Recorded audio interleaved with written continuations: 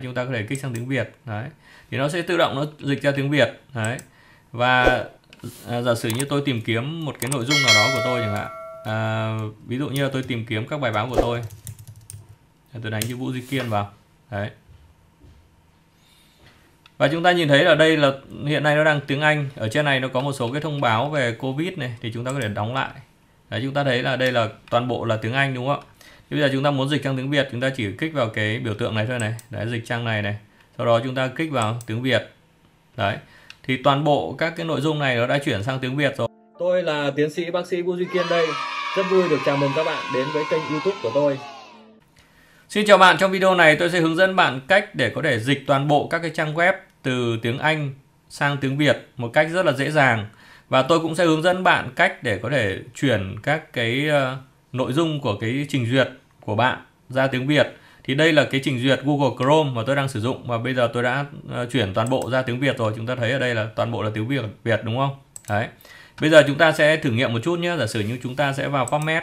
Đấy, tôi có cái shortcut của PubMed rồi nhưng mà trong trường hợp mà ờ, bạn muốn ờ, vào thì bạn có thể đánh cái chữ PubMed đơn giản vậy thôi và sau đấy chúng ta kích vào này đấy và chúng ta thấy là đây là cái trang tìm kiếm của PubMed đấy chúng ta ờ, đầu tiên chúng ta hoàn toàn có thể dịch toàn bộ cái trang này rất đơn giản. Đấy chúng ta nhìn thấy khi mà chúng ta vào thì nó sẽ hiện ra một cái ô ở trên này. Đấy chúng ta có thể kích sang tiếng Việt. Đấy thì nó sẽ tự động nó dịch ra tiếng Việt. Đấy và à, giả sử như tôi tìm kiếm một cái nội dung nào đó của tôi chẳng hạn à, ví dụ như là tôi tìm kiếm các bài báo của tôi.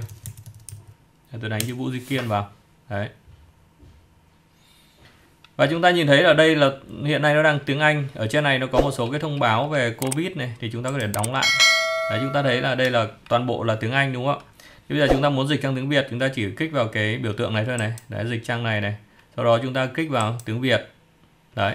Thì toàn bộ các cái nội dung này nó đã chuyển sang tiếng Việt rồi. Tất nhiên là nó cũng không hoàn toàn chính xác, nhưng mà tóm lại là bạn đọc và bạn đã có thể hiểu được cái nội dung này. Giả sử như bây giờ bạn muốn quay trở về tiếng Anh chẳng hạn, bạn nhấn kích vào đây thôi, đúng không ạ?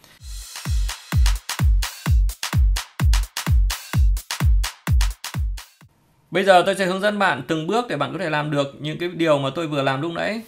Bây giờ chúng ta sẽ cùng mở Google Chrome lên nhé. Đấy, Giả sử như là hiện nay tôi có cái phiên bản Google Chrome nó như thế này. Và hiện nay thì cái Google Chrome này nó hiện nay nó vẫn đang là ở tiếng Anh. Để chúng ta kích vào đây chúng thấy này. Đây, các cái tác vụ này đều là tiếng Anh hết đúng không thì đầu tiên tôi sẽ hướng dẫn bạn cách để chuyển đổi các cái ngôn ngữ ở trên cái Google Chrome này ra tiếng Việt. Đấy bây giờ chúng ta vào đây này đấy có cái dấu ba chấm ở phía bên cạnh này nhá. Chúng kích vào này. Đấy xong chúng ta xuống cái phần là setting. Chúng ta nhìn thấy chữ setting không?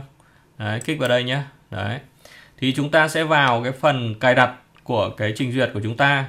Chúng ta vào cái chỗ là advanced này. Đấy chúng ta kích vào đây nhá, đấy, kích vào đây này. Chúng ta nhìn thấy chữ language ở đây nhá. Language là các cái ngôn ngữ đấy là chúng ta có thể thay đổi về ngôn ngữ. Chúng ta kích vào. Đấy. Thì ở đây là cái chúng ta chú ý cái chỉ mục về ngôn ngữ nhá, đấy ngôn ngữ này đấy thì chúng ta nhìn thấy ở đây này hiện nay nó đang là tiếng Anh đúng không? Đây chúng ta kích vào. Rồi.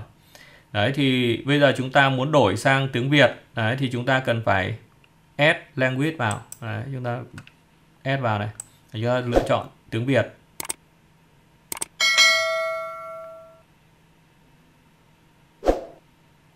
Đấy, chúng ta nhìn thấy Vietnamese này tiếng Việt này. Nó tích vào đây này. Chúng ta add vào này. Được chưa? Thì hiện nay uh, tiếng Việt của chúng ta đã được đưa vào rồi. Thế tuy nhiên là để mà cái tiếng Việt này nó hiện lên thành cái ngôn ngữ của trình duyệt này thì chúng ta cần phải uh, đưa về cái trạng thái là cái trang web này sử dụng ngôn ngữ là tiếng Việt. Đấy thì chúng ta phải kích vào đây cái dấu ba chấm này nhá. Kích vào đây này. Đấy và chúng ta là display Google Chrome in this language tức là mình chuyển sang ngôn ngữ bằng uh, tiếng Việt. Đấy nó kích vào đây này. Đấy khi mà chúng ta kích vào nó sẽ có cái nút này. Và cái nút này có nghĩa là chúng ta cần phải khởi động lại cái trình duyệt này để nó có thể đưa về đúng cái ngôn ngữ mà chúng ta vừa mới cài đặt. Nếu kích vào đây hoặc là chúng ta tắt đi và sau đó chúng ta khởi động lại là được. Chúng ta re, relaunch đấy nhá. Đấy. Đấy. Rồi lúc này chúng ta nhìn thấy là bây giờ nó đã chuyển đổi hoàn toàn sang tiếng Việt đúng không đấy. Tất cả các tác vụ này đều tiếng Việt hết. Và đây chúng ta đấy này. Đấy, tiếng Việt hết và bây giờ đến bước thứ hai là tôi sẽ hướng dẫn bạn cách để chúng ta có thể uh, tạo ra được một cái uh, phần có thể dịch được từ tiếng ngôn ngữ tiếng Anh sang tiếng Việt. Giả sử như bây giờ chúng ta thử nghiệm nhé. Chúng ta kích vào đây này. Đấy. chúng ta vào PubMed nhé. Đấy. Đấy, chúng ta thấy là là nó không có cái cái ô ở trên này. Hiện nay đang không không có cái gì ở trên này để có thể dịch được ra tiếng Việt cả lúc nãy chúng ta nhìn thấy ở phía trước tôi hướng dẫn là nó có một cái ô ở đây và chúng ta kích vào là nó có thể chuyển đổi. Đấy, bây giờ chúng ta sẽ làm để cho cái ô đấy nó xuất hiện. Đấy chúng ta quay lại cái phần cài đặt này nhé đấy. Chúng ta vào phần cài đặt và sau đấy thì chúng ta vào cái phần ngôn ngữ nhé đấy, ngôn ngữ bây giờ đang tiếng Việt rồi chuẩn rồi. Đấy, chúng ta vào cái phần là đề xuất dịch các trang không bằng ngôn ngữ bạn đã đọc. Đấy, đấy bây giờ chúng ta kích nó vào để chúng ta kích hoạt nó. Đấy, chúng ta kích hoạt nó lên và bây giờ chúng ta sẽ, bây giờ chúng ta muốn cho cái hệ thống này nó, mỗi khi mà nó nhìn thấy một cái trang ờ, web mà nó không phải tiếng Việt thì nó sẽ dịch ra tiếng Việt. Thì chúng ta sẽ làm như nào? Thì bây giờ cái ngôn ngữ mà chúng ta yêu cầu đấy là tiếng Anh, đúng không? Chúng ta có thể lựa chọn là tiếng Anh hoặc là tiếng Anh Hoa Kỳ. Thì tôi thường thì tôi sử dụng tiếng Anh Hoa Kỳ. Bởi vì tiếng Anh Hoa Kỳ dù sao thì nó cũng chuẩn mực hơn. Đấy, thì chúng ta kích vào đây này và bạn sẽ thấy là nó có hai cái lựa chọn. Thì bạn cần phải kích vào đề xuất dịch trang bằng ngôn ngữ này nhé kích vào cái này nhé không không kích vào cái này. Nếu bạn kích cái phía trên này thì cái cả cái trình duyệt này nó sẽ chuyển về tiếng Anh. Và chỉ kích vào đây thôi này. Đấy tích vào đây này. Đấy. Xong. Đấy như vậy là bạn đã xong. Và bây giờ chúng ta sẽ quay lại bên này xem nó đã hiện ô chưa. Nó chưa hiện. Bây giờ giả sử như chúng ta kích một cái tab mới. Đấy, đấy và chúng ta sẽ đây là cái shortcut đến PubMed nhé thì tôi đã có sẵn rồi, bây giờ chúng ta thử tích vào đây này. Đấy. Đấy, thì lúc này chúng ta thấy là nó đã hiện ra một cái khung ở đây và nó ờ, có hai cái lựa chọn là tiếng Anh và tiếng Việt. Để chúng ta kích vào tiếng Việt một cái này. Đấy, thì nó sẽ dịch toàn bộ cái này ra tiếng Việt, đơn giản như vậy thôi. Trong trường hợp mà bạn chưa nhìn thấy cái ô này nó xuất hiện mà bạn đã làm đúng các cái thao tác của tôi thì bạn có thể ờ, ờ, đóng toàn bộ cái trình duyệt này lại và sau đó thì khởi động lại thì có thể là là cái ô này nó sẽ xuất hiện. Đấy. Thế còn thường thì nếu mà giả sử như bạn làm đúng như tôi và tất cả các cái phần ờ, hướng dẫn ờ, đúng theo tôi đến cái thời điểm này thì bạn hoàn toàn có thể uh, kích hoạt được nó lên không cần phải khởi động lại hệ thống bởi vì nó như thế là nó đã làm việc rồi. Đây tôi sẽ quay lại lúc giả sử như tôi vào các bài báo của tôi chẳng hạn Vũ Duy Kiên này, đấy. Và tôi tìm kiếm đấy. Và chúng chúng ta thấy là hiện nay nó đang tiếng uh, tiếng Anh đúng không? Bây giờ chúng ta kích vào đây này. Đấy, chúng ta chuyển sang tiếng Việt đấy, thì nó sẽ nó sẽ chuyển sang tiếng Việt này. Giả sử như tôi vào sâu hơn một bài báo nào đấy này. Đấy thì ờ, đây là tiếng Anh này. Đấy vào cái thì nó tự động nó dịch tiếng Việt luôn cho chúng ta. Hoặc là chúng ta muốn quay trở về tiếng Anh chúng ta đọc thì chúng ta lựa chọn tiếng Anh thôi. Đấy à, rất là đơn giản. Đối với lại trang web các trang web khác mà có ngôn ngữ tiếng Anh thì chúng ta cũng toàn à, hoàn toàn có thể làm như vậy. Và chúng ta làm như vậy xong thì là chúng ta có thể chuyển cái ngôn ngữ từ tiếng Anh tiếng Việt.